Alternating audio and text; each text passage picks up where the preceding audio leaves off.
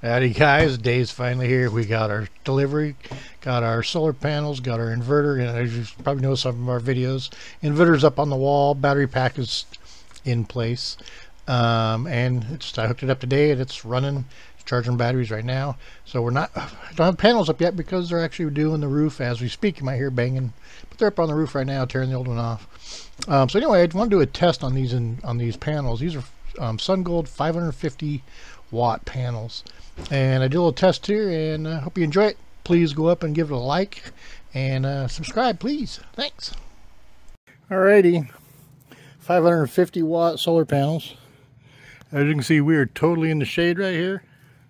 And we are pulling 56 watts, 46 volt.